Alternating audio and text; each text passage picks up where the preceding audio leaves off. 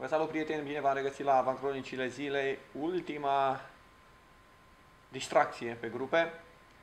Tragem cortina și să vedem dacă mai putem să mai facem niște bani astăzi. Uh, și de sâmbătă începe nebunia. Dar mă uitam și ea și joacă, dacă ai tupeu, pe Argentina cu uh, Franța sau dacă ai tupeu să joci pe Uruguay-Polonia. Pe Uruguay cu uh, Portugalia. Bun, aveam cronicile zilei uh, de astăzi, începem cu Senegal-Columbia, am spus și la Faș Pariu, am spus și în uh, cota 2, nu știu de ce, dar am o încredere nebună că columbienii vor câștiga la o cotă de 1.88, Cuadrado, Quintero, Rodriguez, James Rodriguez și Falcao în atac. I-am văzut pe senegalez acolo la uh, meciul cu Japonia. Pe final, o echipă total dezorganizată.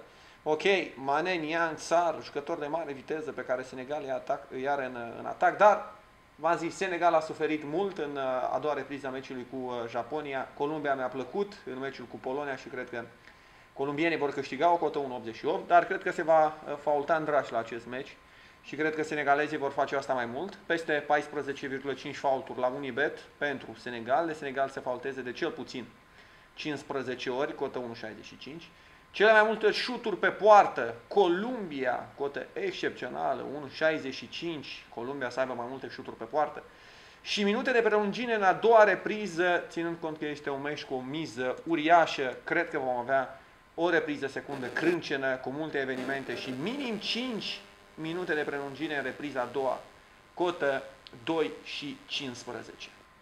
Ne mutăm un pic pe uh, celălalt meci al zilei. Uh, Japonia o întâlnește pe, Colum, pe uh, Polonia.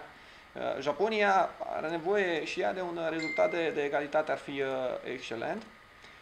Însă așteptăm o replică și din partea polonezilor, o echipă care a dezamăgit foarte, foarte mult în acest turneu final. Fără gol marcat în primele 30 de minute, îmi place această cotă, undeva la 1.80, nu cred că se va marca în, primele, în prima jumătate de oră. Lewandowski nu marchează, o cotă de 1,58 și minute de prelungire în repriza a doua, 0-3, cotă 5,50. De ce o fi o cotă atât de mare? În condițiile în care Polonia nu mai are pentru ce să lupte, în condițiile în care Japonia probabil va închide meciul în a doua repriză, de ce nu poate că jocul se va duce către un rezultat de egalitate? Deci minute de prelungire, repriza a doua, 0-3, cotă 5,50.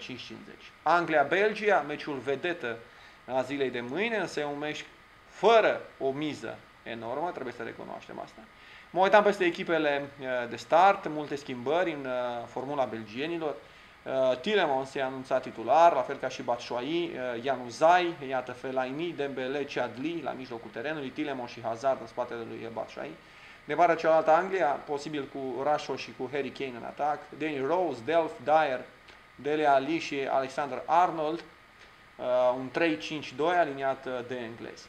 Uh, X2, cotă 1.50, nu cred că Belgia pierde, o cotă de 1.50. Peste 3,5 cornere Belgia, o cotă 1.54, bună cota. Sau peste 4,5 cornere Belgia, adică Belgia să aibă minim 5 cornere, cotă 2. Fabuloasă această cotă 2, minim 5 cornere Belgia. Ambele marchează o cotă de 1.82. Și în fine, ultima partida a zilei, greu de paria pe așa ceva, să joci pe Panama, Tunisia, ce sfântul să încerci aici. Totuși, v-am mai spus, aceste meciuri fără mize l-aș compara ca și uh, Australia cu Peru sau de ce nu în uh, Egipt cu Arabia Saudită, Panama, Tunisia, gol în ambele reprize, cotă 1.58, peste 2,5 goluri, o cotă 1.73 și total șuturi pe poartă, total șuturi în meci peste 22,5, o cotă de 1 60. Baftă să avem uh, prieteni, încheiem astăzi grupele, ne vom uh, revedea cu cronicile zilei, cu siguranță sâmbătă, vom discuta mai multe despre cele două meciuri foarte, foarte tare, repet, Argentina, Franța și Uruguay, Portugalia. Până atunci aveți multă baftă și nu uitați, pariați responsabil.